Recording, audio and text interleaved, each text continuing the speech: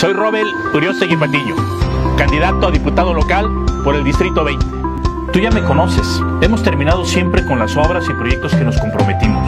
Ahora como diputado local, quiero seguir trabajando para mejorar las condiciones de vida de las familias. Saludaremos a toda la gente de los municipios que integran este distrito, pero sobre todo haciendo el compromiso de cambiar las cosas.